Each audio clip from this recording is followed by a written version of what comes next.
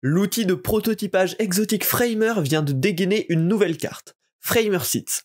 La promesse, transformer automatiquement vos maquettes design en site web accessible en ligne. Je vous partage mon retour d'expérience tout de suite dans Parlons Design.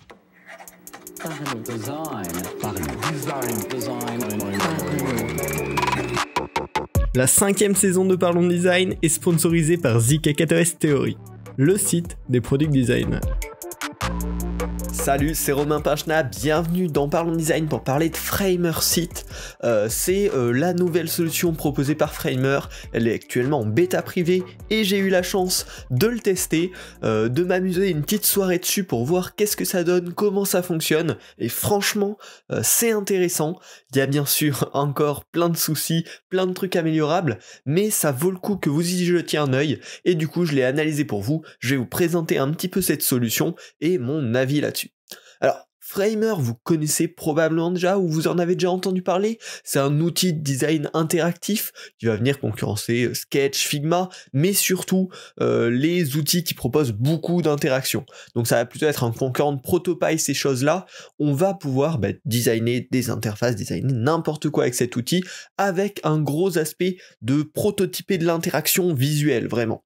Euh, il y a notamment ce qui fait la particularité de Framer, hein, c'est une intégration code. On peut faire du code euh, à la main euh, directement dans l'outil de design framer et ce qui lui a permis notamment par rapport à l'ensemble de ses concurrents tout le temps de proposer des fonctionnalités hyper avancées. On peut faire des prototypes hyper réalistes grâce à framer notamment grâce à cette intégration de code c'est aussi un produit qui bouge très vite au fil du temps. Euh, l'équipe Framer fait beaucoup d'itérations.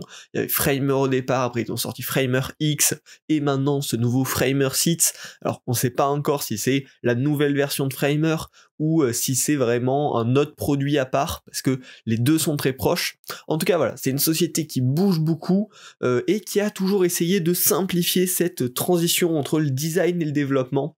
Il y avait notamment une librairie euh, de développement qui avait été créée par Framer et qui permettait de faciliter aux développeurs le fait de reproduire le design, les animations conçues directement dans Framer donc voilà, il y a toujours eu en tout cas cette philosophie-là, et là il passe clairement à l'étape suivante avec Framer Seats qui est en bêta et qui est tout simplement un website builder. Euh, donc une application en ligne dans laquelle il n'y a pas forcément besoin de coder pour créer un site et le mettre en ligne. Un petit peu comme le ferait euh, Webflow ou Wix ou toutes ces solutions-là, clé en main, on n'a pas du tout besoin de coder pour mettre directement un site en ligne. Ben là, Framer entre sur ce marché avec un point de vue euh, tout à fait unique. La promesse tout simplement de Framer Site, c'est que votre outil design bah finalement ça devient votre interface de création de site, votre espace de mise en production, votre espace CMS même potentiellement, bref, votre website builder. Euh, vous faites du design comme vous en faites tout le temps sur vos logiciels, sauf que là il y a un bouton je mets en ligne et puis euh, c'est en ligne, c'est utilisable et pas juste comme une image, comme une maquette exportée, mais bien comme un site web interactif, responsive qui va s'adapter à l'écran, euh, avec lequel on peut interagir comme un vrai site finalement. Donc ça garde bah, toute l'interface de Framer habituelle, euh, ça rajoute les features qui sont spécifiques à Framer, et ça rajoute euh, bah, la possibilité de mettre en, ligne en un clic euh, tout le design que vous avez créé en tant que vrai site. En plus de ça, ça va gérer le responsive, le référencement, les contenus et aussi des intégrations spécifiques. On en parlera un petit peu plus en détail dans ce podcast, mais ils ont été hyper intelligents là-dessus pour gérer toutes les potentielles interactions qu'on peut vouloir sur un site. Il y a déjà plein d'interactions pour euh, envoyer des mails, pour euh, connecter à des systèmes de paiement ou des choses comme ça. Donc c'est extrêmement bien fait.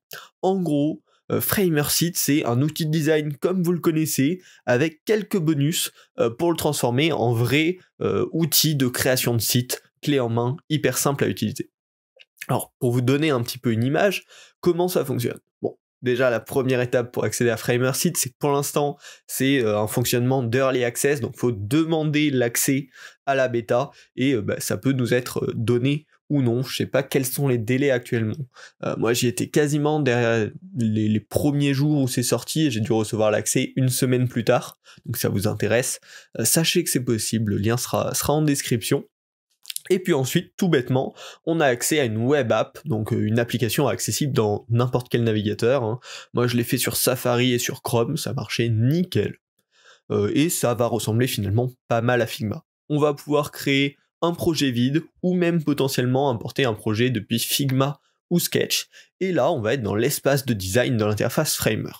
Alors, globalement, à la fois vous n'allez pas être trop perdu et à la fois euh, Framer a vraiment une structure un petit peu différente des outils classiques. Donc il va falloir euh, quelques, minutes on va dire pour s'y adapter, mais globalement ça va être un outil de design où on peut créer des blocs, mettre du texte, changer les propriétés des différents éléments euh, pour, créer une interface comme vous le faites dans Adobe XD, dans Figma, etc. En plus de ça, il y a quand même pas mal d'avantages. Il y a une petite librairie d'éléments existants euh, qui est déjà disponible, en fait, de composants qu'on va pouvoir repersonnaliser à 100%. Donc pour un website builder, comme ça, c'est hyper pratique, parce que notamment, il y a déjà des composants pour une landing page, pour un, un bloc de CTA, pour un footer, voilà, tout plein de choses qui sont finalement assez basiques, assez répétitifs. Mais là, on va pouvoir directement le récupérer depuis la librairie Framer et le customiser 100% comme on pourrait le faire dans un logiciel de design classique. Il y a un principe de stack, comme sur Figma ou même maintenant comme sur Adobe XD, qui est hyper important, surtout pour que là, bah, le site puisse vraiment s'adapter aux différentes tailles d'écran. On a également des principes de resizing. On va mettre des poignées pour dire bah, cet élément-là, il s'accroche en haut à gauche, cet élément-là, il change de taille quand on change la largeur de l'écran, etc. Et puis, bien sûr, il y a tous les principes de prototype classique hein, qui permet de faire des liens entre les pages, dire quand on clique sur ce bouton, on va sur cette page. Sauf que là, c'est pas uniquement euh, dans un prototype comme on l'aurait dans les logiciels classiques, mais ça va vraiment faire l'action euh, sur le vrai site mise en production. Et enfin, les derniers atouts de Framer Site, c'est qu'on va pouvoir intégrer soit des modules interactifs euh, comme je vous en ai parlé tout à l'heure, pour envoyer des mails, pour effectuer des paiements, ou de la logique pure en intégrant du code, du vrai code fait à la main. Et donc ça rend cet outil à la fois hyper simple à utiliser, c'est un outil de design avec toutes les fonctions qu'on connaît, les composants, etc.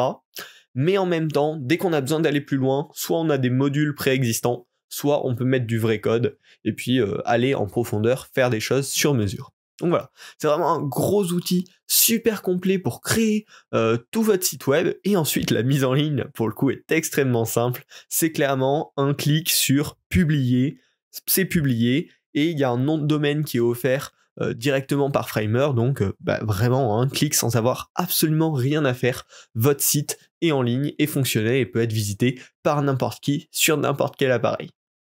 Il y a même la possibilité de connecter euh, votre propre nom de domaine si vous en avez un. Mais en tout cas, la mise en ligne, c'est pas plus compliqué que ça. On clique, ça prend quelques secondes, et puis le site est à jour, le site est fonctionnel. Derrière, on va pouvoir modifier des paramètres avancés, notamment gérer euh, les versions en ligne du site. On a tout un historique, c'est vachement bien. Si jamais il y a eu un problème, on peut revenir à une version précédente. On va pouvoir gérer plein de paramètres pour le référencement, le SEO, et également connecter des solutions d'analytics euh, pour, euh, bah, pour savoir s'il y a du monde qui visite notre site ou pas. Donc c'est vraiment assez impressionnant en termes de promesses, en termes de fonctionnement, d'avoir un outil de design qui est tout ce qu'on connaît en termes d'outil de design, voire un petit peu plus puissant, et derrière une mise en ligne, une, mise en production extrêmement simple. Maintenant, la prochaine étape, c'est que je vais vous partager bien sûr mon expérience sur Framer parce que cette promesse est hyper belle, mais est-ce qu'ils l'ont vraiment euh, tenue dans la réalité? Mais avant ça, faisons une petite interlude pour vous parler du sponsor de cet épisode, Around. Around est désormais mon outil de visio préféré. Conçu spécialement pour travailler en équipe et collaborer, c'est le parfait remplaçant aux outils d'appel vidéo traditionnels. Léger et discret, Around s'efface pour n'afficher que l'essentiel afin de travailler dans un espace virtuel plus chaleureux et efficient à la fois. C'est l'outil de visio parfait pour vos sessions de design, de brainstorming ou de co-création. Il a d'ailleurs été designé spécifiquement pour répondre aux besoins des créatifs et des makers. L'application est superbe, très jolie et surtout très pratique. Certains petits détails amusants et de nombreuses features bien pensées vous aideront à dynamiser vos réunions collaboratives. Découvrez en plus sur Around avec le lien en description, l'app est totalement gratuite. J'ai été sincèrement conquis. Euh, c'est pour cette raison que je les ai contactés et je vous conseille vraiment de tester cette super solution around.co slash parlons design. Le lien est en description de cet épisode pour pouvoir tester l'app et vraiment, euh, moi je la kiffe, ça fait plus d'un an que j'utilise, je vous le recommande grandement. Maintenant que vous êtes bien équipé pour collaborer, revenons à mon analyse de FramerSeat en commençant par quand même les plus, les aspects positifs de FramerSeat. Alors, le premier point, c'est clairement c'est très simple d'usage, vous n'allez pas être perdu. Euh, Framer, globalement, c'est un outil qui est super bien designé, très agréable, très épuré, très droit au but. Euh, si vous connaissez déjà un petit peu Framer, vous être complètement euh, chez vous, tout va bien se passer. Si vous êtes habitué aux autres outils de design, vous devrez très vite vous y retrouver une fois que vous aurez un petit peu compris les concepts clés de cet outil. Le second point hyper positif, c'est la publication immédiate. Vraiment, c'est pas plus compliqué que d'appuyer sur un bouton pour publier le site. Euh, et si vous voulez connecter votre propre nom de domaine, pareil, c'est extrêmement simple. Donc euh, ces deux missions-là, en tout cas, sont extrêmement, extrêmement bien réussies. Le cœur de la mission est complètement rempli. Un autre point très intéressant, c'est la gestion du responsive. Euh, globalement, les règles dans font que le responsive marche plutôt bien de base. Et là, on a un système d'aperçu euh, qui va permettre en fait de concevoir une page en ayant plusieurs aperçus de celle-ci sur plusieurs devices. Donc vous allez par exemple pouvoir voir un affichage téléphone, un affichage tablette, un affichage desktop, ensemble visualisés sur votre écran, modifier l'écran que vous êtes en train, sur lequel vous êtes en train de travailler, et voir en direct les modifications, enfin, comment ces modifications vont se répercuter sur euh, les trois tailles d'écran euh, que, vous avez affichées à votre écran. Donc vous avez vraiment un visualisateur de ce que vous faites, comment ça euh, s'applique sur le responsive. Du coup, c'est extrêmement bien foutu, hyper simple, hyper pratique, et ça évite de, de casser tout à chaque fois qu'on modifie notre design sur FramerSeat. Un autre point hyper hyper positif, c'est l'intégration de modules très variés. Je vous en ai parlé plusieurs fois dans ce podcast, mais ils ont résolu le problème de intégrer des éléments interactifs de manière hyper intelligente. En gros, on a des composants euh, liés à plusieurs services qu'on va juste pouvoir drag and drop et qui vont fonctionner. On a ça pour euh, tout ce qui est plutôt euh, réseaux sociaux, mail, etc. On a des intégrations avec Mailchimp, Intercom, HubSpot.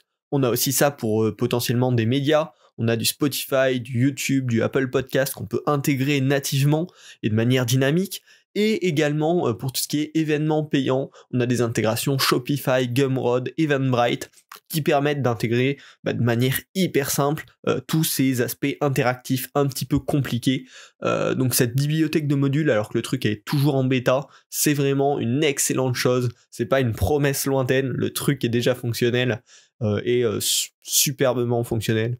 franchement, un grand bravo à eux là-dessus les, modules apportent un vrai plus euh, à FramerSeat.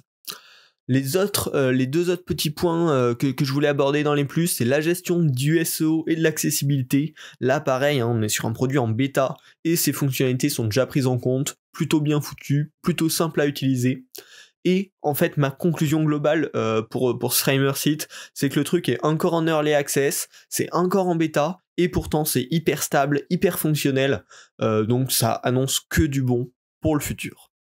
Bien évidemment, euh, il y a quelques points négatifs encore euh, sur Framer. Le premier, c'est que cette interface de Framer, faut s'y habituer un petit peu. C'est pas exactement le même modèle mental que sur du Figma ou du Adobe XD.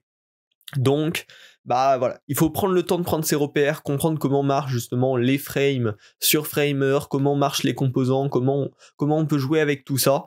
Euh, mais une fois qu'on s'y est fait, franchement, ça passe. Ça demande voilà, juste une petite courbe d'apprentissage et faut réussir euh, à prendre ce temps, cette petite heure ou deux, pour comprendre comment marche vraiment Framer.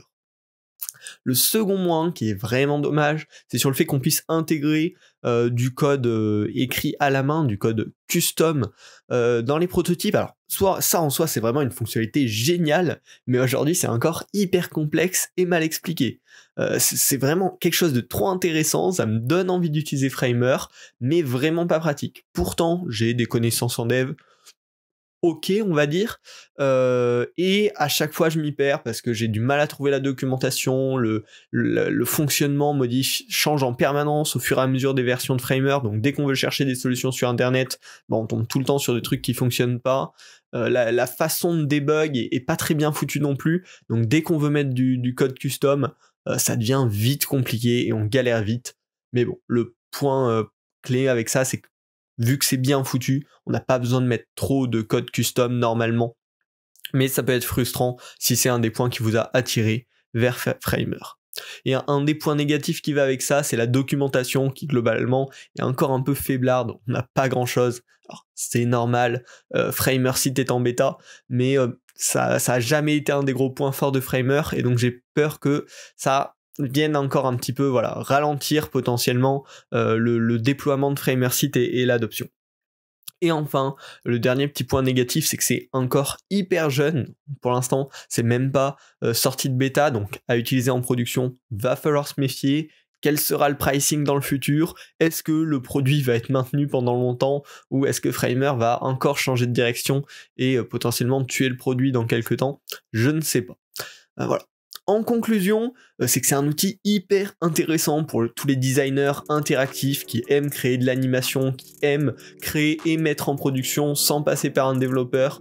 Euh, ce Framer site, ça s'annonce être un très beau concurrent à Webflow avec vraiment des bons atouts. Euh, l'interface est extrêmement clean, hein, c'est vraiment du Framer, c'est beau, c'est élégant, on, se fait plaisir en l'utilisant. Euh, mais bon, derrière, va falloir comment ça évolue. C'est vraiment un outil en tout cas je vous recommande de suivre. J'espère que cet épisode vous a plu, si c'est le cas, n'hésitez pas à vous abonner pour suivre les euh, prochains épisodes et euh, vous pouvez également aller checker le sponsor de cet épisode, Around, je vous en ai parlé au milieu de l'épisode, il y a around.co slash design si vous voulez aller en découvrir un petit peu plus sur cette solution de visio, je vous mets le lien en description. Voilà, on se retrouve la semaine prochaine pour un nouvel épisode de Parlons Design. Salut.